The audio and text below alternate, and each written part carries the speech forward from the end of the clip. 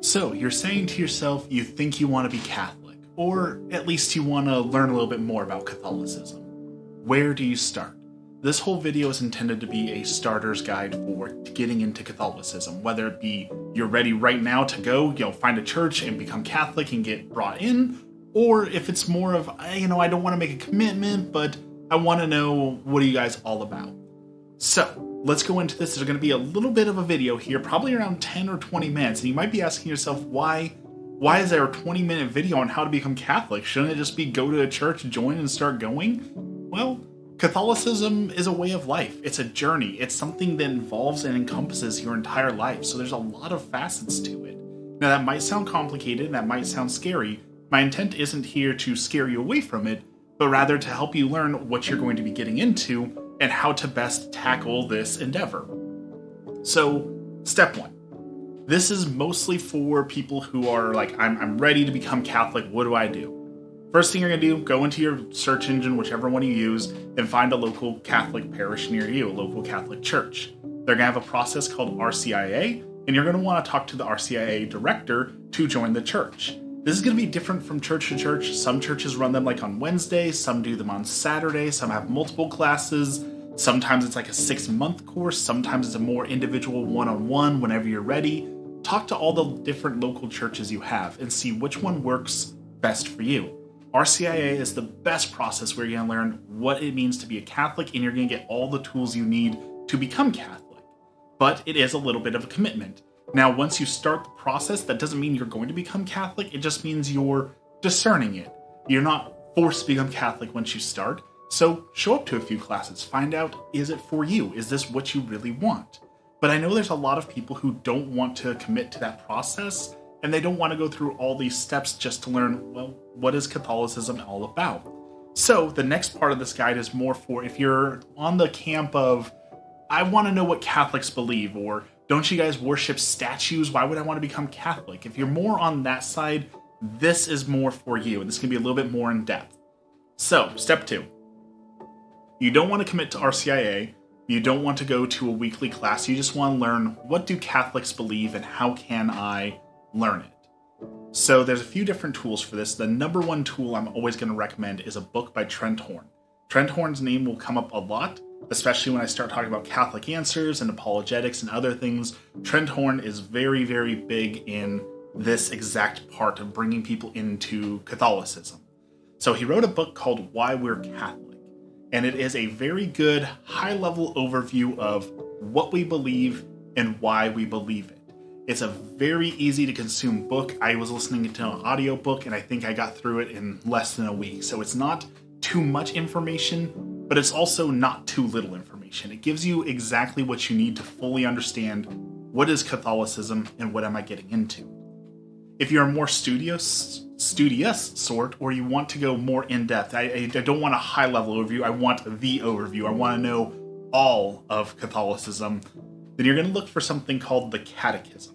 The Catechism of the Catholic Church is a fairly large and a little bit dry book that gives you everything why we believe, what we believe, and why we believe that. You can find it through an audiobook, but I also recommend there's a new podcast by Father Mike Schmitz, another name that you'll hear a lot, who does Catechism in a Year, where he breaks down this huge, dry, imposing book and gives you bite sized segments every day to help you kind of learn it and understand it and put it into a good context. So if you're not in a hurry or you don't want to sit down and read a book, again, it's, it's a very, very dry book to read. When I read through the Baltimore Catechism, it was literally question 141 Why do Catholics believe X? Answer. Question 142 Why do Catholics believe why? And so on and so forth. So if that's not your thing, Catechism in a Year is great. Another great resource, I actually just found this one, is the Handbook for Today's Catholic. It takes the catechism and breaks it down to about 100 pages instead of 1,000 pages. So it's still a lot of information, but it breaks down the core things that you may need to know. Another good one is a biblical walkthrough the Mass, understanding what we say and do in the liturgy. Uh, that is by a doctor. Uh, I'm blanking on their name currently, uh, but that is a wonderful walkthrough. I know a lot of people are intimidated by the Mass and like, why? why do Catholics do the Mass the way they do it? Well, this book will walk you through why we do the Mass in a very certain way, why it's important, and why it needs to be done that very certain way. If you've done other churches or gone other places, you know a lot of churches are very freeform. They kind of do whatever the, the leader of that church wants to do. The Catholic Church is not like that. Every Catholic church is doing the same thing on the same day, whether it be you go to your local parish or fly halfway across the world to go to a parish in another country or even at the Vatican, you're going to get the same information. That's part of what I love about Catholicism is that uniformity. Another resource you're going to want as you're kind of learning about what we believe and why we believe as you're reading through the Catechism or reading through Trent Horn, you're going to have a few one-off questions. You're going to say, "Okay, you've touched on this topic, but why why do Catholics pray to statues? Why do Catholics worship the saints? Why do Catholics think that saints are gods? Those are all misconceptions, but the point is, we've all heard those, and you're going to have those questions at some point. Again, I'm going to point you to a place called Catholic Answers. Just put it in your search engine, whichever one you use, Catholic Answers should pop up. And in the description of this video, I will also include links to everything I'm talking about here so you can quickly access it. Catholic Answers has a big group of apologists who are people who have studied and trained on how to answer questions and give you the correct information about the faith. And so you can put in any one of those questions and you're going to get a wonderful, well thought out explanation that's going to have Bible verses and different links for you to be able to get the full information.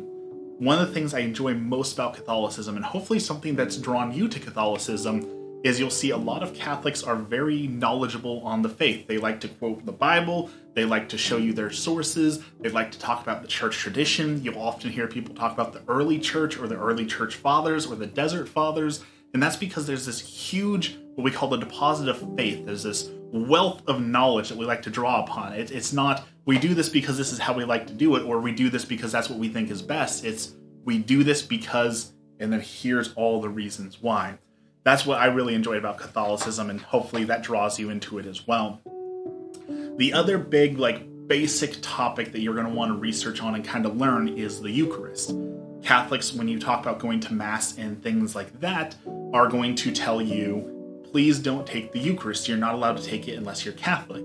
And that's kind of strange to some people. Like, well, my local church lets me go in there and take it, or you know these other churches will do it that's because we have a lot of belief around the eucharist and keeping it sacred and holy so i'm not going to get into that now you can literally find videos that are hours and hours talking about the eucharist again i'm going to put a link in the description to a good answer on why we believe that and why it's so important to us.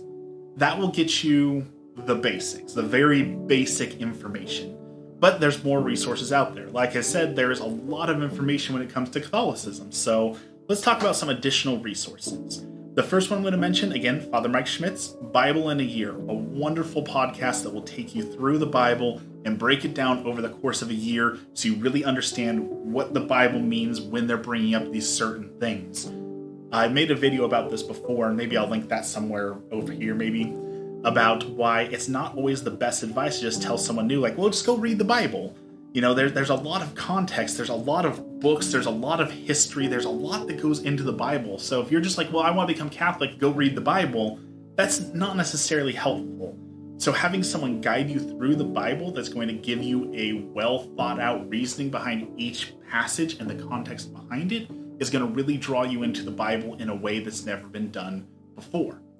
You're also going to probably want to know about the rosary because that's one of those things like, oh, those Catholics, they have those weird beads and rosaries. Why are they worshiping the beads?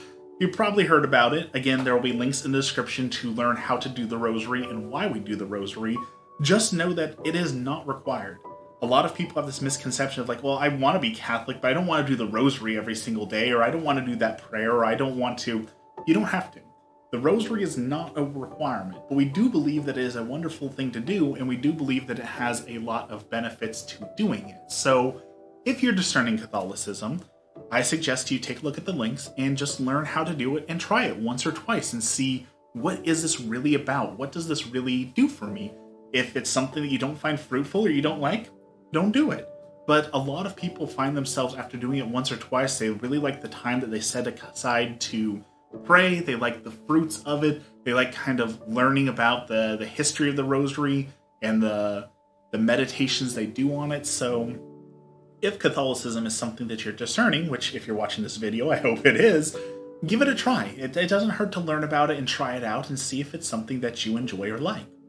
There's also a Catholicism DVD set uh, that's wonderful with Bishop Robert Barron. Uh, again, I'll link that to you. That is a wonderful walk through Catholicism as a whole. It is wonderfully produced and full of art and wonderful stories. Another tool is called Formed. Formed, you will get when you go into one of your local parishes in their bulletins, or if you talk to someone, they should have access for the parish to this thing called Formed. Formed is like Netflix, but for Catholics. It's full of different uh, TV shows produced for Catholics, it's full of movies about saints, and it has a lot of good information for if you have questions. A lot of those Catholic answers kind of questions, you can find them on Formed as well. It also helps when you want, uh, you know, we want something in the background or background noise instead of having on a cartoon or something, it's good to have there just kind of learning it, hearing it, and immersing yourself in it. If you're discerning Catholicism, then it's always helpful to immerse yourself fully into it. Uh, the last extra tool I'll mention is Ascension Press. They are the group who helps to produce the podcast by Father Mike Schmitz, Mike Schmitz, excuse me, that I mentioned earlier. They have a lot of wonderful things for sale. They have a lot of podcasts, a lot of books. They are very involved. Uh, Ascension Press, I dare say, is just as popular as Catholic Answers. So get used to going to their website, check them out. There's a lot of free, wonderful resources there. I'll also give you a few recommended readings. These aren't necessarily books that you have to read to become Catholic or anything like that, uh, but that I found helpful through my own personal journey. Uh, there's Left to Tell Discovering God Amidst the Rwanda Holocaust by Immaculée. Uh, that's a wonderful one for kind of that question that everyone has of how can you believe in God when there's evil in the world? This book does a wonderful job of addressing that. Uh, Dante's Inferno, of course, is a classic. Uh, some people refer to it as Catholic fan fiction. Uh, definitely don't go into it believing that that is an accurate 100 portrayal of everything, but it is still a wonderful look at sin, redemption, and how our choices can impact us. There's Seven Storey Mountain by Thomas Merton, which is a wonderful testimony of finding God and coming closer to God. C.S. Lewis is a name you'll hear a lot. C.S. Lewis does uh, two books I highly recommend. One is Mere Christianity. Now, Mere Christianity is not a Catholic book, rather, it's a defense of why Christianity in general. However, I find it very compelling. So, even if it's not necessarily I want to become Catholic, but why Christian or why Christianity, that book is wonderful for that. He also did a book called The Screwtape Letters, which is one of my personal favorites. It's written from the perspective of a demon teaching another demon how to influence the world subtly. It gives you a really fun, interesting perspective into the supernatural, and you'll hear this term a lot spiritual warfare, this, this ongoing battle that we can't see of the supernatural. I'm not going to go too deep into that because, again, this is supposed to be a broad overview of how to start. And if we start getting into spiritual warfare and demons and all that, that's that's something I'd rather save for a different video and a different time. This is meant to just bring you into the faith, a chance to start. Something that I should have brought up way at the beginning, and I apologize, I missed this on my notes, is you know, when you're finding that local parish, different churches do operate slightly different. They might have different traditions or small differences. So don't just go to one church and say, okay, this is it, this is my church, I'm done. Try a few of them out, see which ones you like. Ask around on your local subreddits or your local Catholic groups to get a feel for what does each church do a little bit differently. Definitely get to know the RCIA director. They're going to be the one again who brings you into the church, who's going to be your wealth of knowledge for all these sort of things and the church is something that they will push on. The reason why we do RCIA in person is the church is, yes, it's a physical building, but it's also the people, the people of the church. And building those connections with the people is going to be really important for your journey, especially if you're discerning towards Catholicism and want to move forward with it. It's definitely easier if you have other people to help you through it. Definitely find a church that you're comfortable with and go to the Mass. Start participating. Now, you can't take the Eucharist, we already mentioned that but going to the Mass and experiencing it is a great way to help you discern if this is something that you want to do. If you're nervous about it, you can watch online and see how the Mass works without, you know, being there in person. And there's always booklets in front of you that if you open up, It will tell you exactly, you know, what readings we're doing today, what the replies are, what you say, when. All that information is there for you. And of course, you can look to your neighbors when they stand up, stand up with them. When they kneel, kneel. Or if you don't feel comfortable with that, if you just sit there respectfully, that is completely okay as well. No one's going to sit there and like, oh, you see, see that person over there? They didn't stand up. They're not a real Catholic. They don't belong here. That doesn't happen. So don't worry about that. There's other things like veiling and uh, other traditions. Again, you don't need to worry about all that to start. That's wonderful to learn about and wonderful if that's something you want to do.